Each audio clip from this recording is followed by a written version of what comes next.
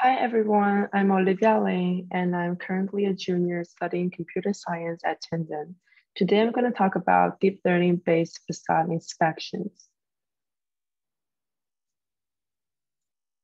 So today I will go over four tables of contents. The first part will be project design, which is the description of our project. The second one will be methodology, which I will discuss what we do to achieve our goal. And the third one is the technologies that we use.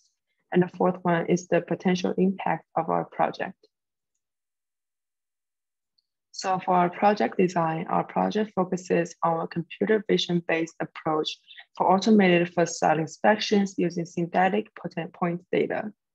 Facade inspections are necessary for the maintenance of buildings as well as for ensuring public safety. In current practice, facade inspections are mainly conducted visually and manually which results in costly, labor-intensive, and time-consuming processes. Besides, the results are based on inspectors' personal experiences, and they need a high level of experiences and domain knowledge. Yet, they're inadequate for eliminating all the safety issues, and they face accidents like all humans do. Therefore, there is a need for an automated method for inspections and condition evaluation we will use deep learning for our um, automation processes. As for the methods that we use in this research, we focus on surface deformations on facades that require 3D geometry-based analysis. In this regard, we use point cloud data to generate synthetic facade defects that will later be used for 3D deep learning and computer vision applications to identify defect types. A point cloud is a, a collection of an enormous number of measurements, a set of data points for coordinates in three dimensions. And point clouds are most co commonly generated using 3D laser scanners and light detection and ranging technologies.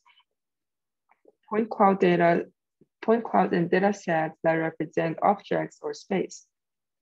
We use point clouds in order to represent our 3D scan data and use the point clouds for deep learning.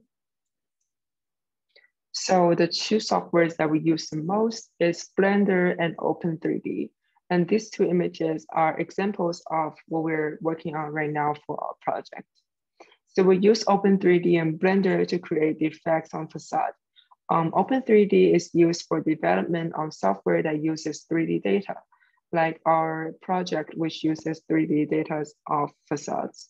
And Blender is a computer graphic software that use that we use to create 3D models. So instead of um, working on what's already have like point clouds, we use Blender to create our own um, models of 3D. And we use point cloud, point cloud Blender to create more examples of the affected facades in order to let the machine learning algorithm in the future to train on this data. We use coding with Open3D and built-in functions on Blender to create this data.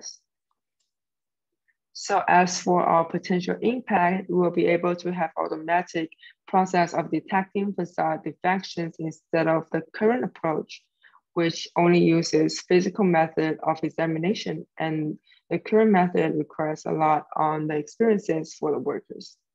By having that, we can protect, protect the safety of the people better by ensuring the efficiency of facade inspections. We can take actions we can take actions on buildings that have bad conditions quicker. We can also increase the efficiency by not requiring the workers to have so much experiences of facade inspections. Since the facade inspections nowadays require physical checks by experienced workers with no requirements on that, we do not have limits on the number of workers. By not having a limit on number of workers, we can recruit better and we can increase our efficiency. For the near future, we aim to overcome the problems caused by the deficiency of 3D data sets that include surface deformations. Thank you so much for your time.